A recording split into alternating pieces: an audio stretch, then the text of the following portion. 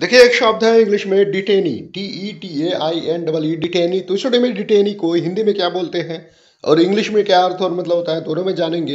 Example से sentences में use करके अच्छी तरह से समझेंगे। तो चलिए वीडियो को स्टार्ट करते हैं और समझते हैं। क्या अर्थ होता है, क्या मतलब होता है? सबसे पहले हम हिंदी में समझते हैं। देखिए डिटेनी का मतलब होता है स्वतंत्रता से वंचित व्यक्ति, जिसे अनैच्छिक रूप से कैद किया गया हो। डिटेनी कहलाता है। क्या मतलब मतलब वह कैदी या बंदी।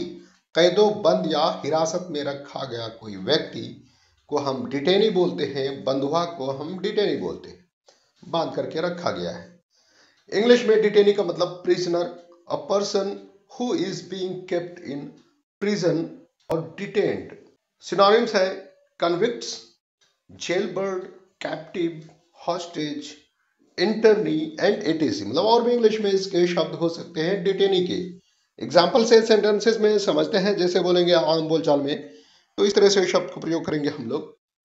कि detainees complaint of being given food which is inedible बंदियों ने खाने के लायक भोजन ना दिए जाने की शिकायत की। दूसरा एग्ज़ाम्पल है the government has ordered the trial of all detainees within six months सरकार ने छह महीने के भीतर सभी बंदियों पर मुकदमा चलाने का आदेश दिया।